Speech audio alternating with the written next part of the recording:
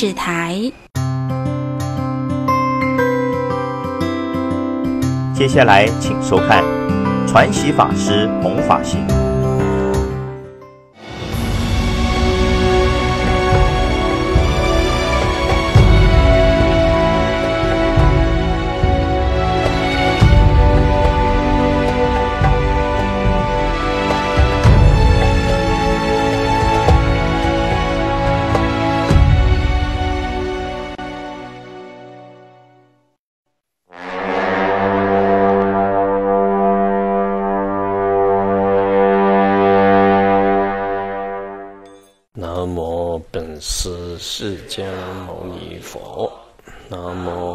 是释迦牟尼佛。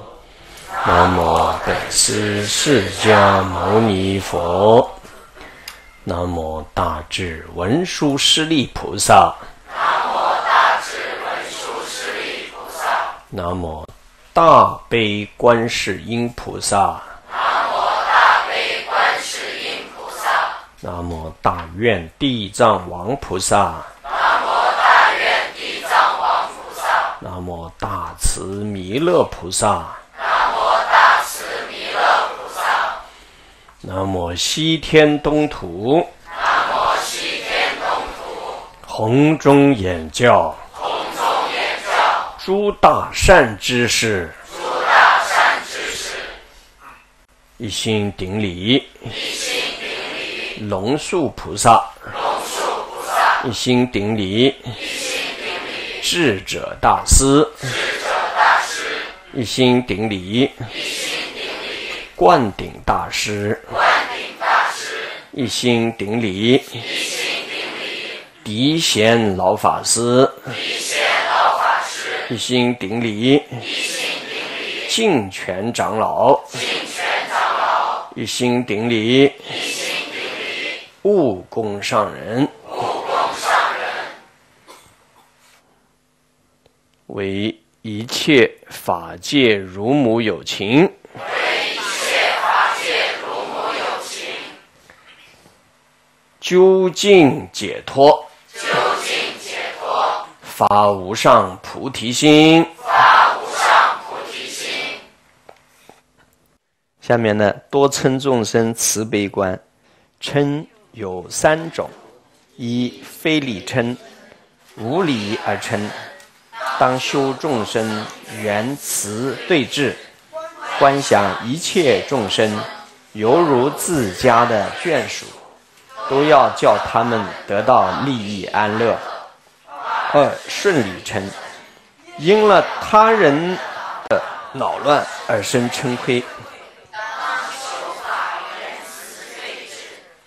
观想一切法都是因缘所生，目不转时，一切众生不知道诸法本空的道理，常想求得安乐，为了随顺众生，都要叫他们得到安乐。三称真认成，以自己的见解为是，指他人的所说所行。都以为不对，当修无缘慈对治。修无缘慈时，不住法相及众生相，怜悯一切众生，往来五道，心着于法，你要使一切众生解脱诸苦，得诸法实相。叫做无缘慈，多称的原因是有多种的。第一种，非礼称，有的人呢，这个连没理他也成，啊，无理成的多不多啊？没有理也会发脾气啊。有理成，这社会上都是很多的啊。第三呢，争论啊，争论称，两个人见地不一样。比如说，一个不学佛的碰到一个学佛的，是吧？啊，往往我们初学佛的人呢，我们就觉得自以为是，就觉得啊，我们学佛就是好，你不学佛的就是坏啊。然后我们就会跟他初学佛的啊，就会容易发生这种事。老学佛的呢就不会了。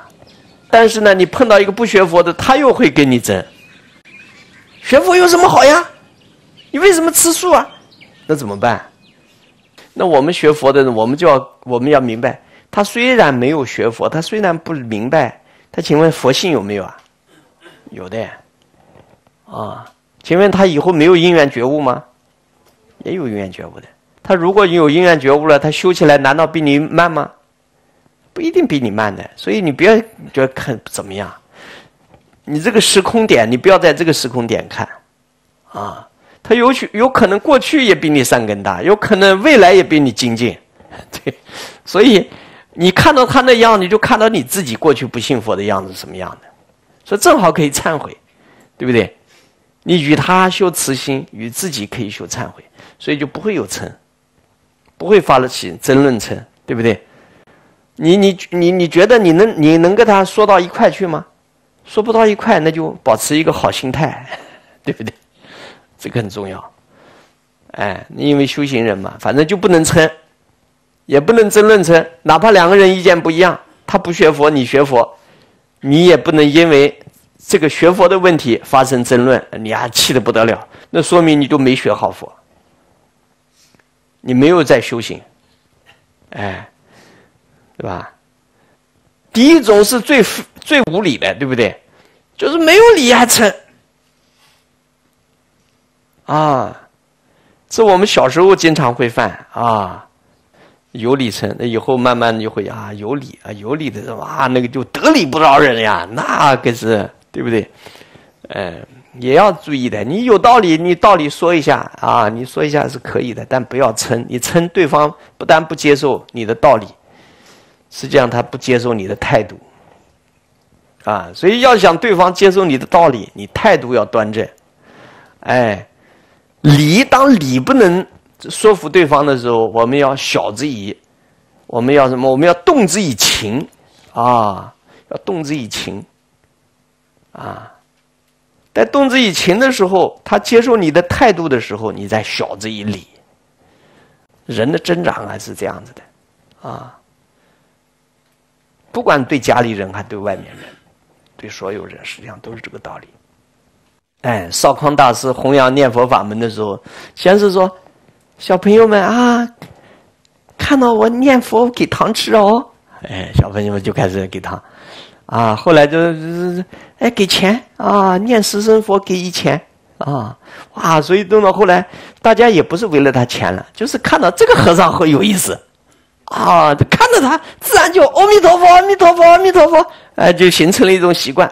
所以啊，大街小巷只要看到这位老和尚就念阿弥陀佛，所以他到哪里，阿弥陀佛佛号就到哪里。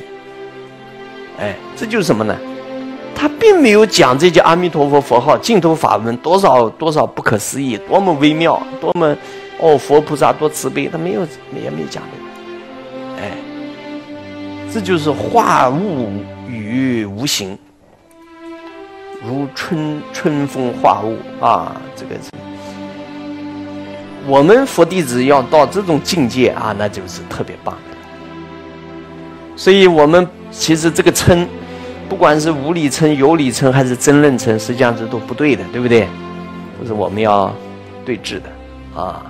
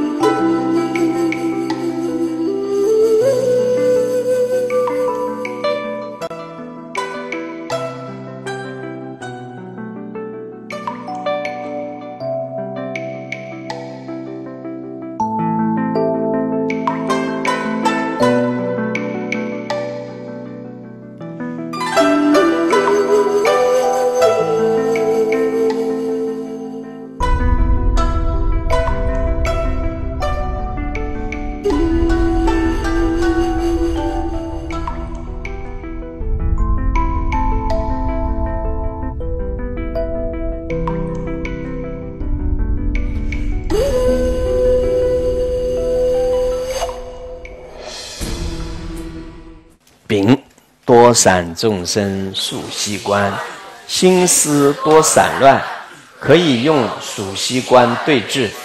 息就是呼吸。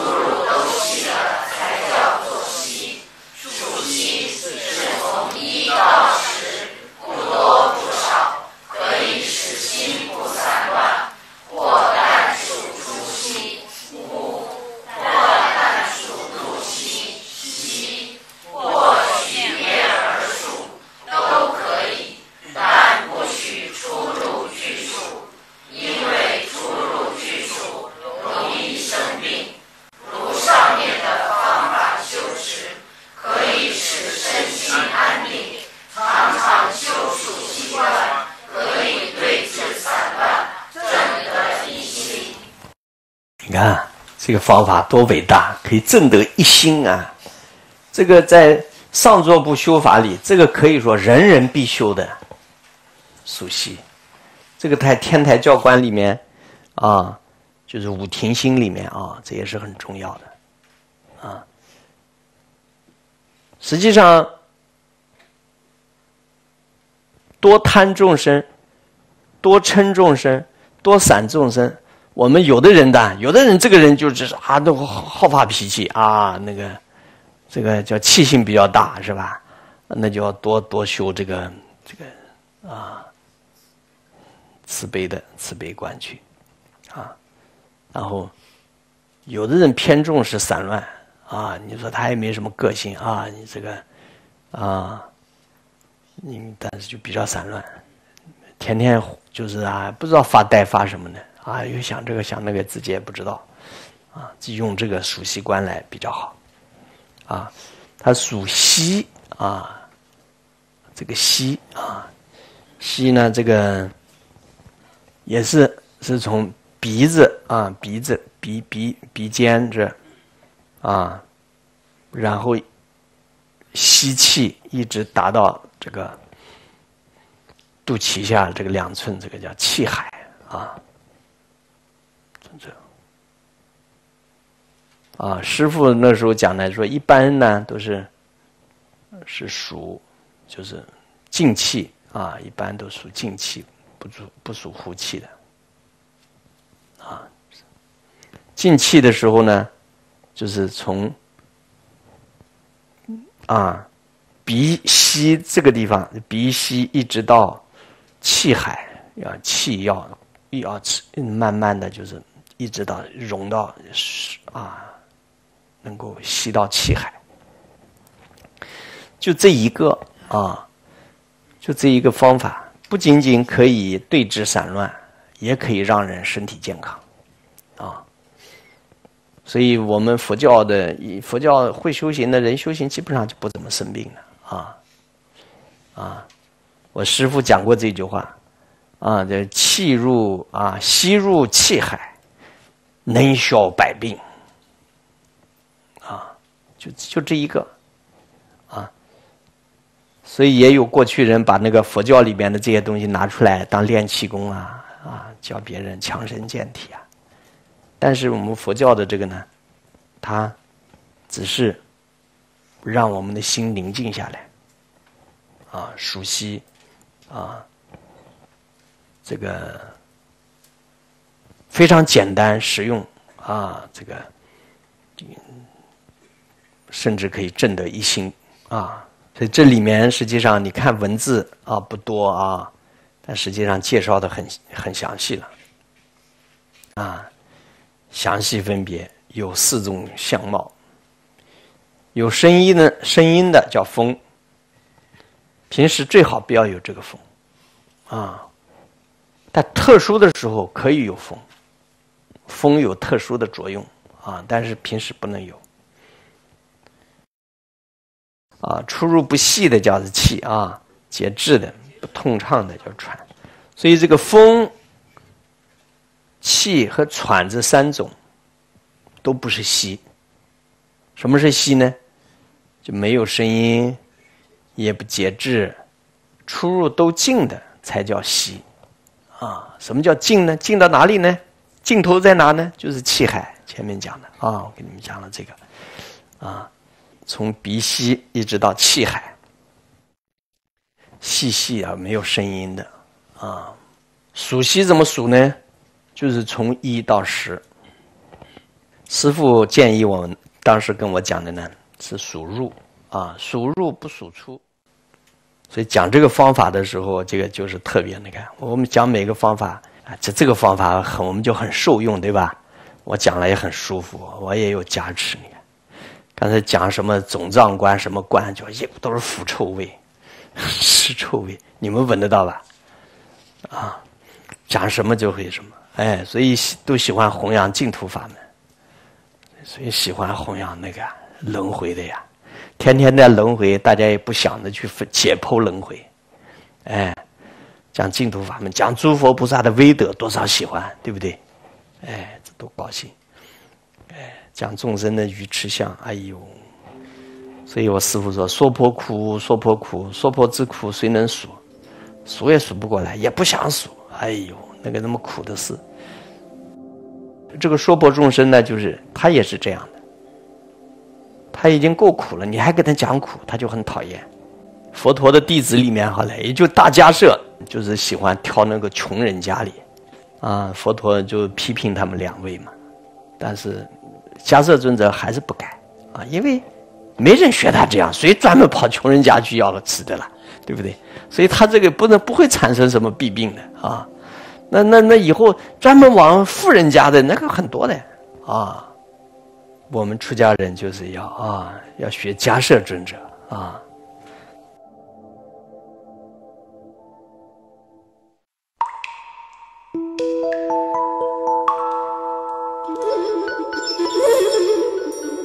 下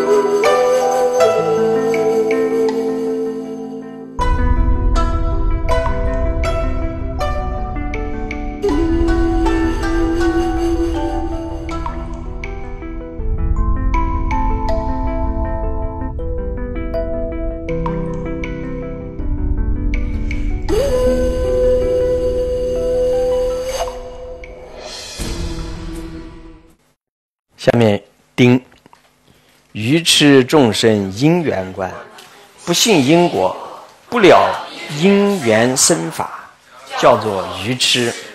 可以用因缘观对治。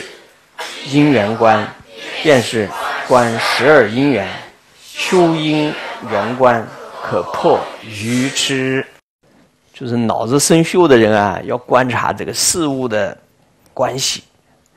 一捋捋顺捋顺捋顺捋顺，哎，你的脑子也捋顺了，哎，知道吧？脑子一团浆糊的，就是要的管。这个指什么呢？啊，为什么小孩子我们要去教他学搭积木，让他去组装，做小木匠一样去组装？这也是启发他的心智。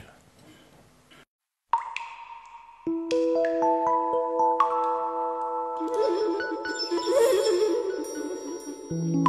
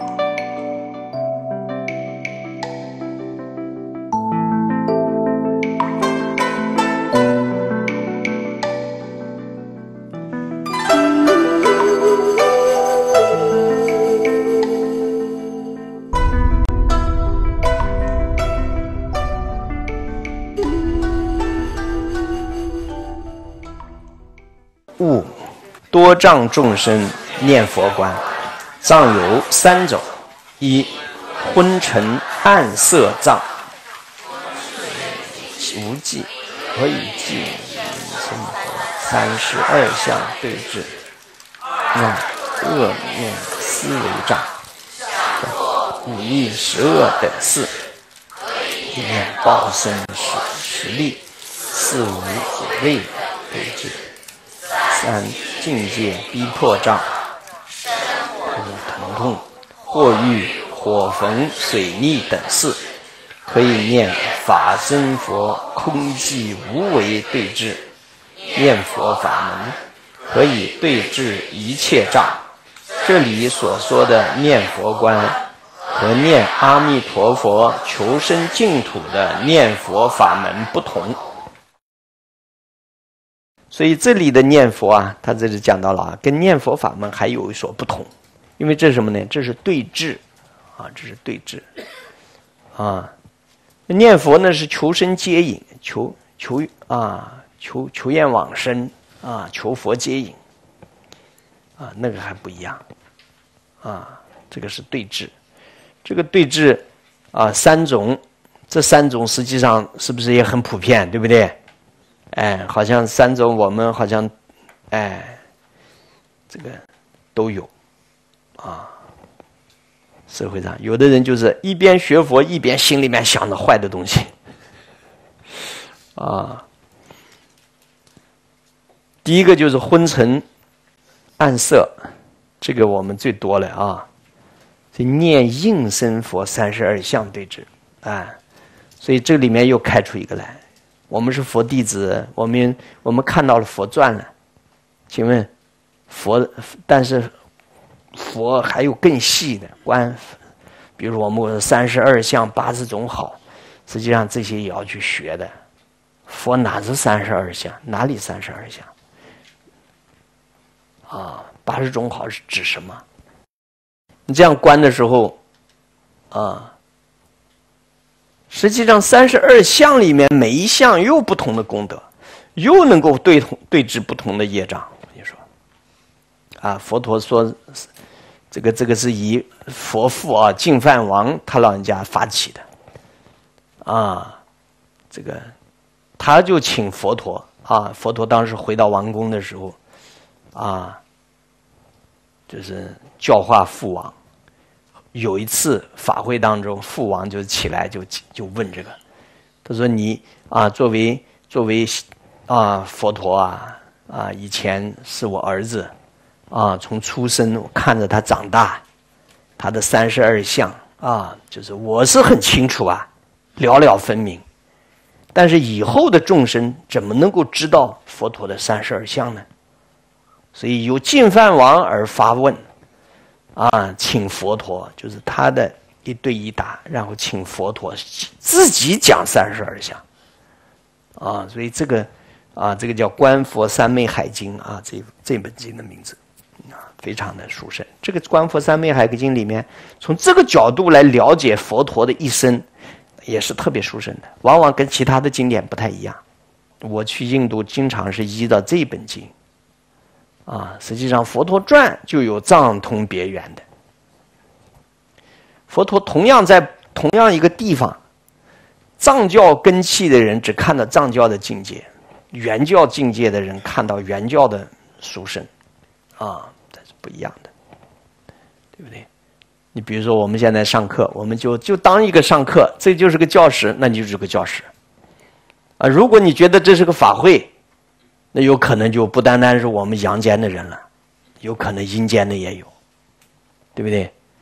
啊，如果你认为这个是在这个时代当中的在点灯，我们每一个人的心中的菩提灯在点。点燃，那这个时候有可能这个光明就更加释然了，啊，对不对？那诸天都震动，有可能，对吧？哎，诸天都会，就境界，你那个不一样，这个同样一个，它有可能它表现的境界不同。这个多障众生念佛观里面的三十二观，还是应，还只是我们啊，这这个这个啊，化身佛也叫应身佛啊，应化的。化身就应化身，啊，恶念思维障，啊，特别是刚学佛的时候，一边学着佛，佛的名相啊，佛的经典呐，佛的这些啊，他进不去；另一个呢，他的这个习气的相续很猛烈，哎，还是想着。一边念着佛经，一边也不想到哪去了啊，就觉得，然后自己反省的，哦呦，我怎么在想这个啊？这怎么这么那个？哎，你收徒弟，你就要就是有这么经历的嘛。你刚，哎，你比如说教化他，摄受他，他从普通的一个人，哎，接触到佛教了，哎，认识你这个师傅了，然后你在教化他，他也在考验你呀。他有时候在啊，想听着师傅讲法，听着听着，他他就他自己的恶业就会。相续就会跑出来，啊，所以有人也向我发怒啊，啊，师傅，师傅，哎呀，怎么办啊？怎么还是那么那个？哦，想就是各种各样子的这种坏念头。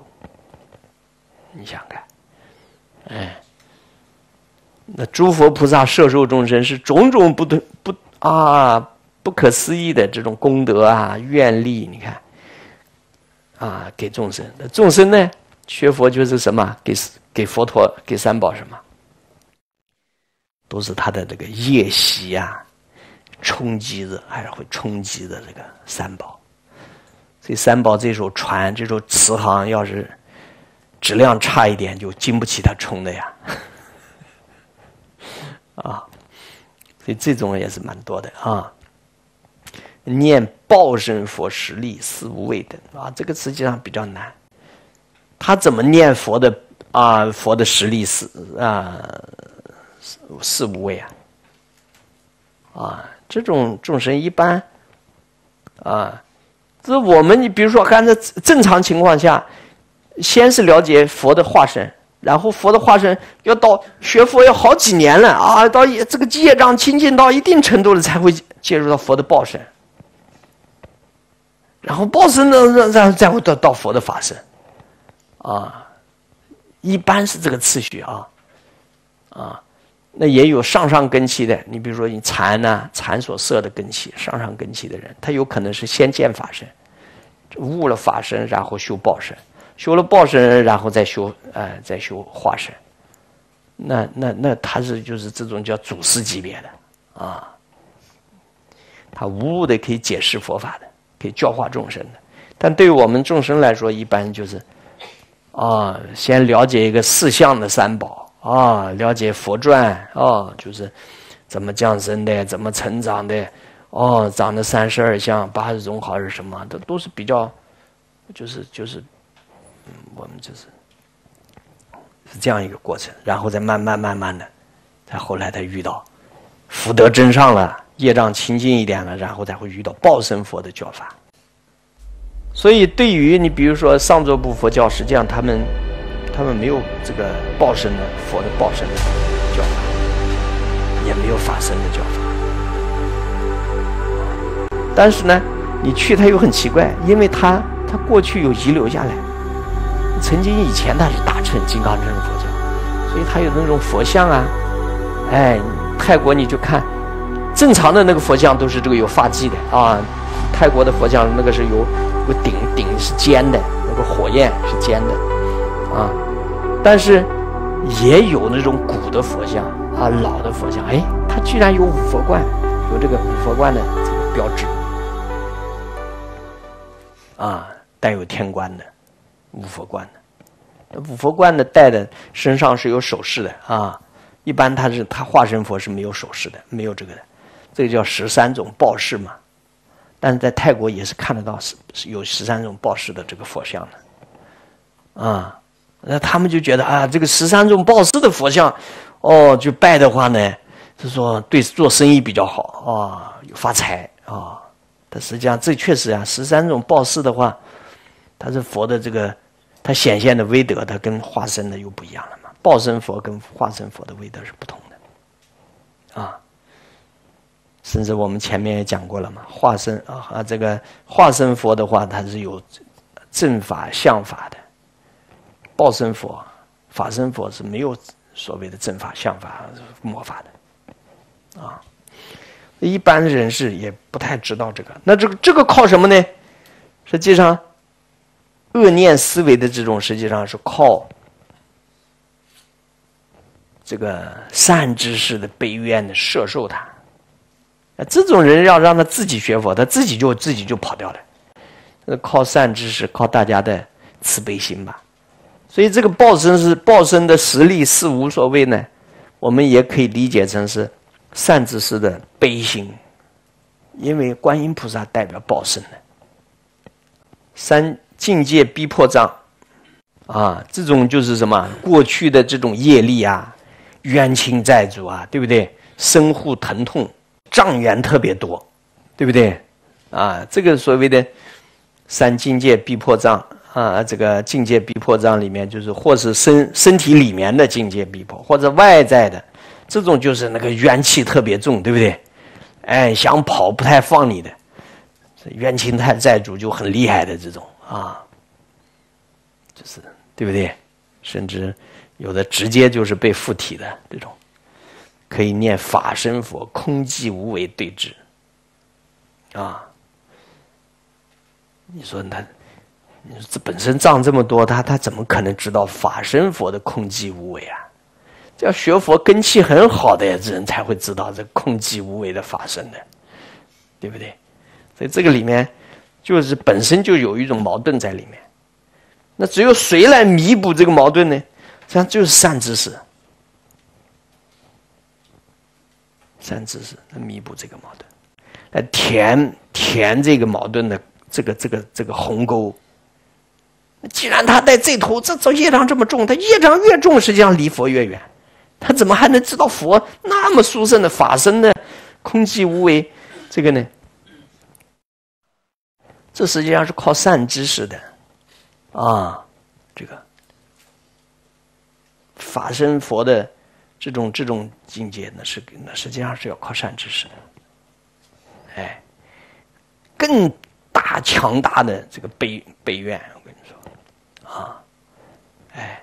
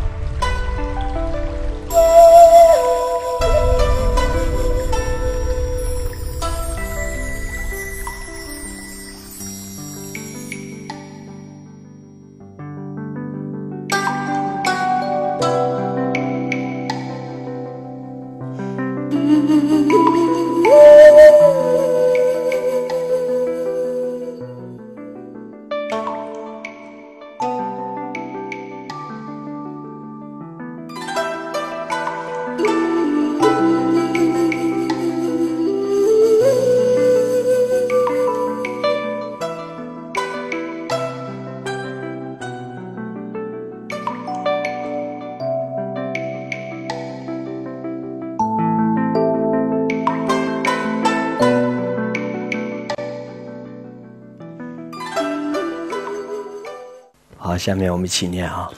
五庭星观，通过藏通别圆四教，这里虽说藏教而谈，其实像慈悲观中的法源慈、无缘慈，念佛观中的念报身佛、念法身佛等，都已经超出了藏教的范围。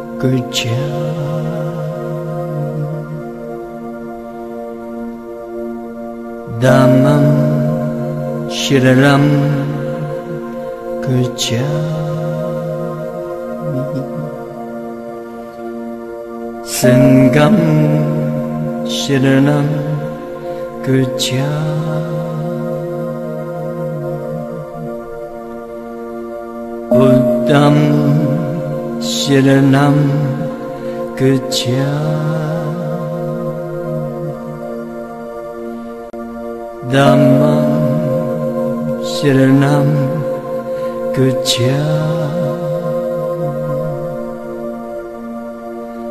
सङ्गं शरणं गच्छ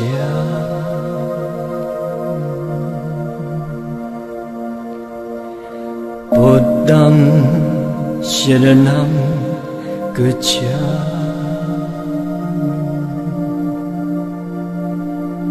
tâm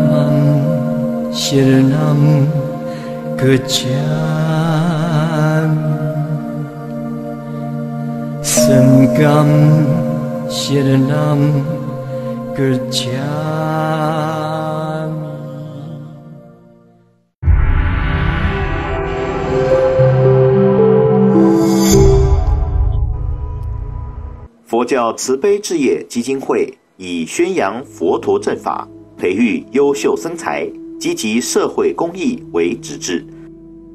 二十多年来，借由各项法务推广宣扬佛法慈悲智慧，如全省各中心的成立，让信众有学习佛法的道场，实践了弘扬佛法教育的功能性。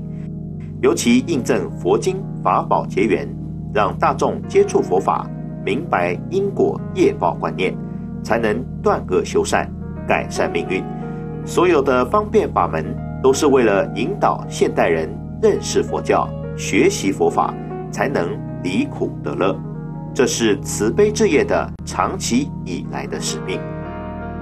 为了护持佛法永续，利益更多众生，佛教慈悲置业基金会邀您继续护持，共同推动慈悲置业的各项会务，让佛法甘露遍洒各地。润泽群生，护持邮局划拨账号：五零四四四四六八，五零四四四四六八。户名：财团法人佛教慈悲置业基金会。佛教慈悲置业基金会总管理处地址：宜兰县三星乡三星路二段二十号，电话：零三九八九九三一九。零三九八九九三一九，传真零三九八九八七八七，零三九八九八七八七。明净月功德日，善恶行成一千万倍。求戒拜忏除诸障，稽首礼拜观音前，千处有求千处应，灭罪消灾最吉祥。佛教慈悲置业宜兰大悲观音道场传授八关斋戒及礼拜大悲忏法会，恭请广护法师及法务指导僧众共同领众。七月二十日星期四八点半传授八关斋戒，十三点三十分大悲忏法会，地点宜兰大悲观音道场，联络电话零三九八九九三一九零三九八九九三一九。敬邀菩萨参与熏习，同沾法益，共沐佛恩。慈悲置业高雄分会中山书坊举办传授八关斋戒暨佛学讲座，日期八月六日星期日上午九点，传授八关斋戒暨蒙山施食，恭请湛山法师、湛江法师、湛同法师共同主法。下午两点，佛学讲座，讲题阿弥陀佛四十八大愿，恭请湛江法师主讲。地点高雄分会中山书坊，高雄市新兴区中山二路四百七十二号七楼。洽询电话：零七二二一二三二三，零七二二一二三二三，零七二八二零二七八，零七二八二零二七八。敬邀菩萨参与熏习，同沾法益，共沐佛恩。配合防疫措施，参加共修，敬请佩戴口罩。佛教中山书坊法会直播，请搜寻脸书“佛教中山书坊”。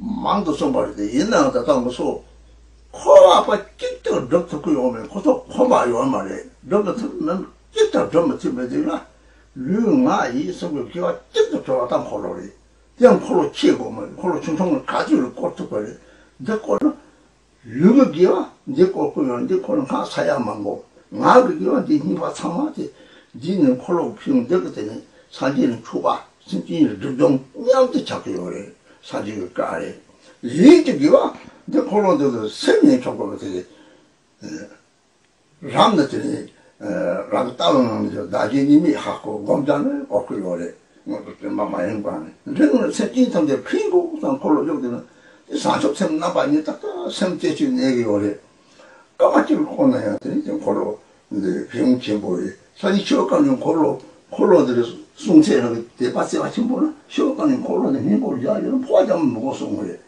kari, changu kholo mego yo a, dine o, me kholo di tsachi moni kholo mego yo so dine, pwa jamu ko songo le, di sa kholo kiyong chimbo le, di song dine mi, kholo song dine tete, di sa wale nga yesu giwa la dine, yin ke, o, kholo song di ya 노자 두고 요요 돌선 밑도 두고 동해 쪽 아주 비게 되고. 그 홀로 비게 되고 남들 잡아이. 그 사라라 동체 와서. 그 사제들이 남선 까라미와 탐지는 홀로 예발이.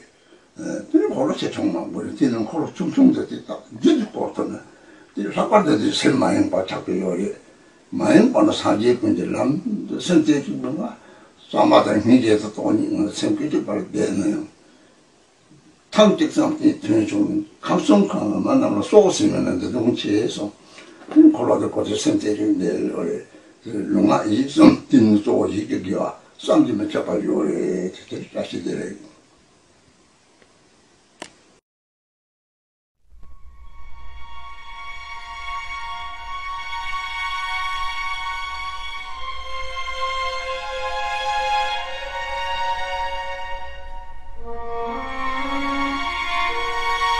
时佛陀住在中印度王舍国的瑶山中。当时有五百位阿罗汉和一千位菩萨，他们共坐在佛的周围，听佛陀说法。座中有一位菩萨名叫阿尼场。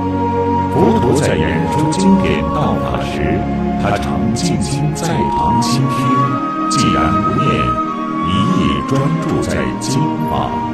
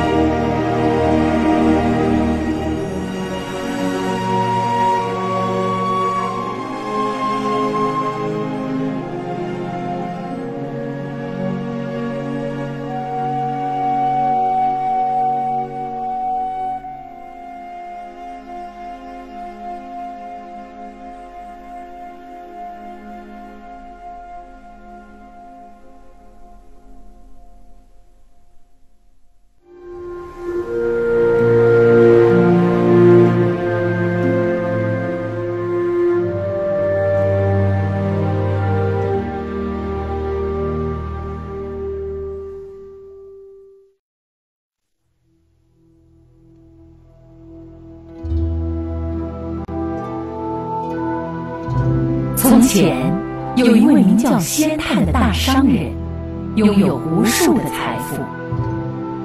平日里，他常观佛教名典，觉悟世间无常，荣华性命财富难以保全。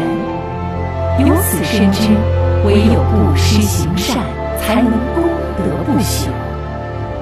于是，仙探通告黎民百姓：若有贫穷困乏者，皆满足其愿，而施于他。那时，国泰民安，人民富足。数月过去了，也没有一个人来领取财宝。嗯，既然不施财宝，没有人来领取，那只有买来药品，以备治疗众人的疾病。于是，先探买了很多良药，救济众人的生命。慈心化病。五行炼制，恩泽无不周遍。经年累月的会师，以致德香远熏。仙太如此行善立事，用尽了自己的所有财产，于是打算亲自入海财宝。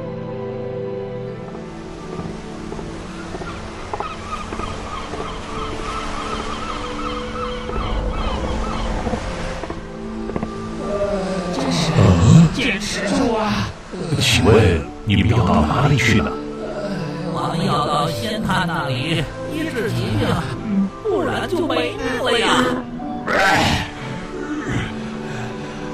我就是仙探，请你们再忍耐一下，等我回来。哎呀，太太巧了，他就是仙探呐！仙探立刻赶回家，向国王借了五百两黄金。买来药物，治愈了他们的疾病。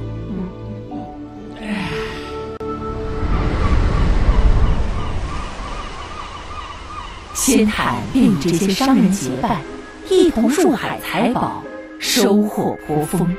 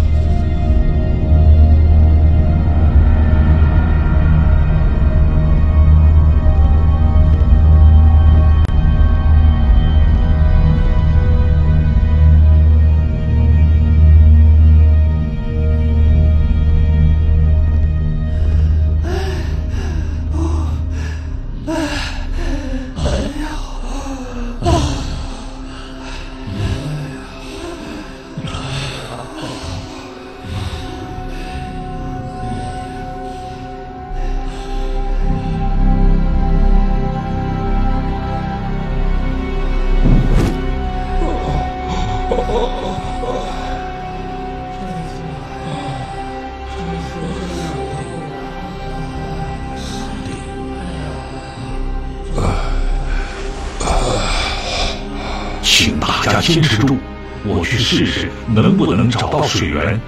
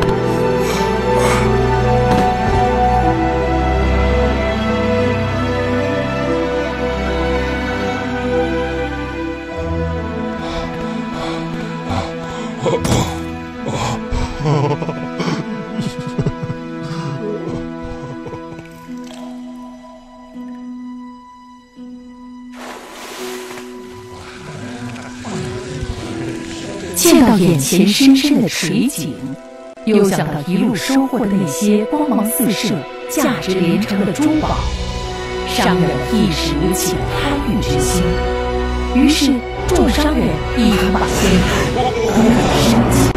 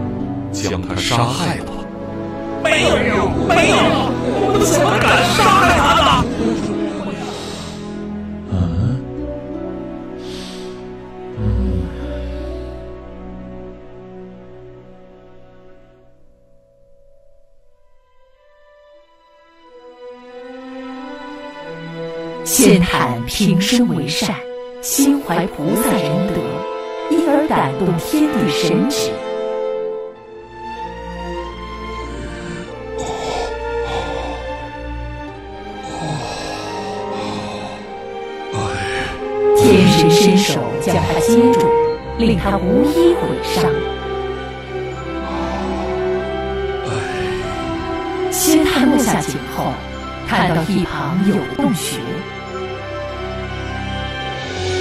洞穴直通一户人家的水井，他正是从那里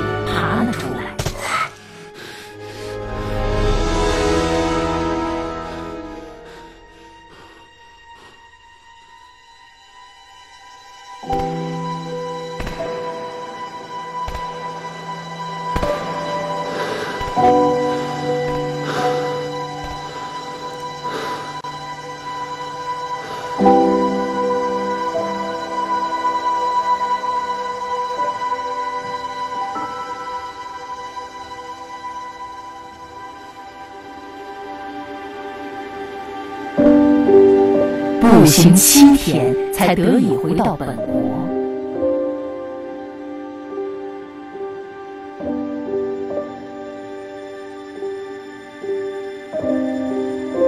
嗯，谢探，为何你空手而回呢？只因我运气不佳，未能采得宝物，所以空手而回。有蹊跷，嗯，这里一定有缘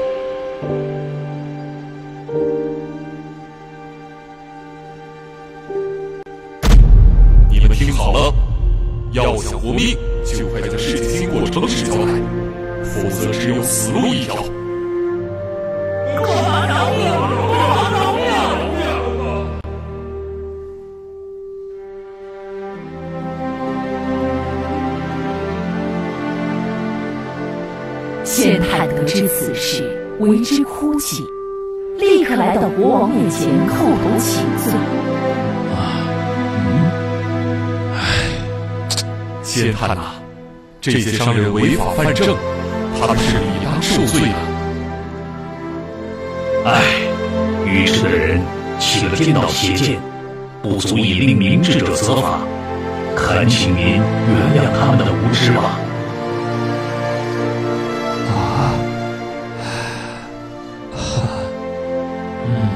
王嘉许先探仁德抚慰，便原谅了商人的凶杀之罪，命他们即刻归还宝物。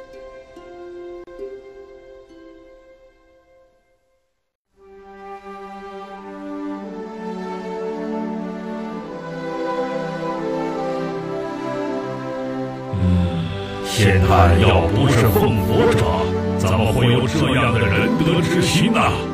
是啊，是啊。他真是太了不起了。前面是说了，前面一定要说哎，真没用啊！常帮仁德护佑，使我们的性命得以保全。希望您能全数接受，请不要再推辞了。